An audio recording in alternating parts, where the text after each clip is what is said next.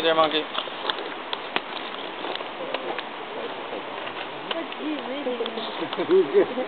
Hey, we could give him that apple we have. No.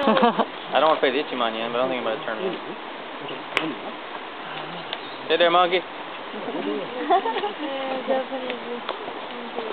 Hey, buddy.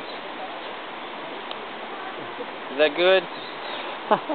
Hmm? oh, he's so cute. You know what? He probably wants some deep fried maple leaf. Kind of fish and meat. Okay, I'm gonna go over there. I'm gonna go over there and put him in a